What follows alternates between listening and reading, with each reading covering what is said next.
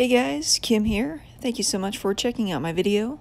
We have another pearl pour today with the DecoArt Extreme Sheen Amethyst and DecoArt Extreme Sheen Emerald.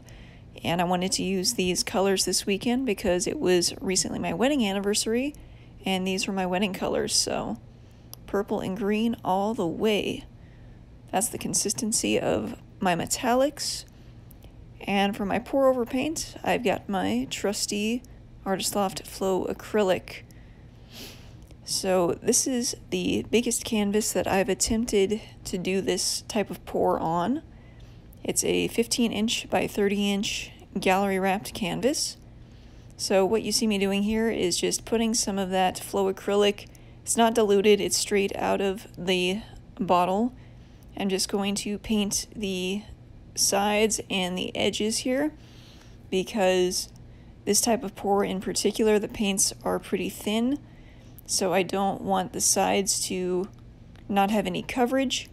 And also the um, paint, if it's a little bit wet still on the sides here, kind of helps it stick. So when you're tilting your paints, it doesn't all just tip off onto your mat there. So I'm just going to go ahead and get these sides coated. And uh, another tip here, this is a pretty big canvas and I've had it sitting around for a while and the canvas itself, the material kind of got pretty loose and what I did was I turned it over and I just used a spray bottle and sprayed it pretty liberally. Used my blow dryer and just got it really, really hot and it tightened up so it's in perfect condition again.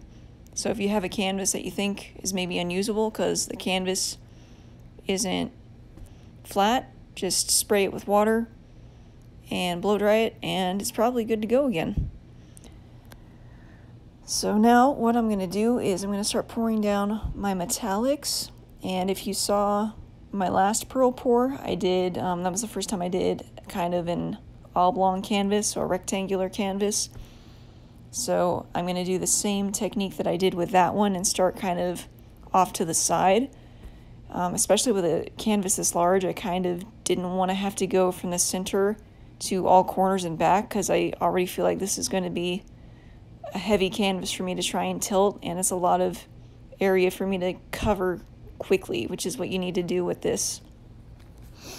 Um, really, the the trick to these is really two things: is number one, get your paint consistency correct, and number two, make sure you're using the right amount of paint. And for the first thing, I've done a whole tutorial on it. I will link that above. I've done a tips and tricks video which I will um, I can link that one in the description below. And as for number two, using the right amount of paint, um, I still honestly it's kind of magic to me. I don't always know how much paint to use. Um, every time I try a new size canvas, it's kind of a guessing game for me. It's a lot of trial and error. Um, I don't want to tell you guys how many canvases I've wrecked trying to do these. But if you want to see how to fix a pearl pour that has gone bad, stay tuned to the end, and uh, I'm going to call that one the reverse Dutch pour, is how you fix a bad pearl pour. So that will be at the end of this video if you're interested.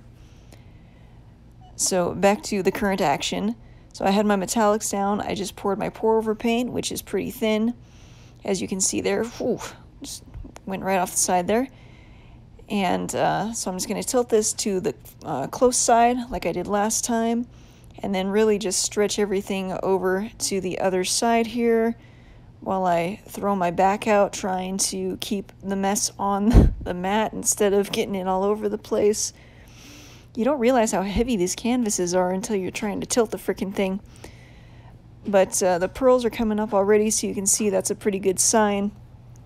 And so I'm just going to tilt this back uh, the other corner here and uh, just set it down as quick as you can because once those pearls come up you don't want to stretch them anymore otherwise they're going to get oddly shaped. So just put it down and then uh, you can torch it and the heat is going to bring up a lot of those metallics that are underneath the black.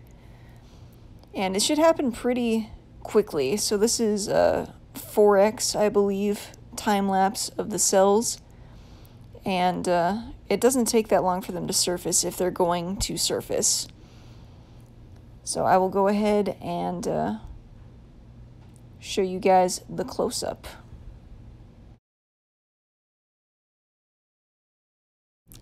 So here's the close-up.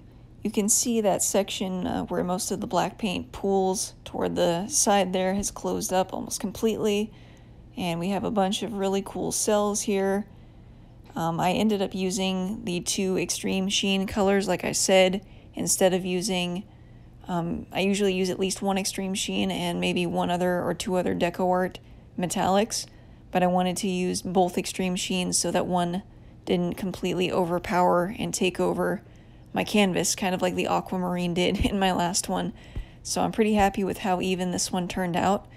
I think it looks pretty cool, and I gotta find somewhere to put this up on my wall.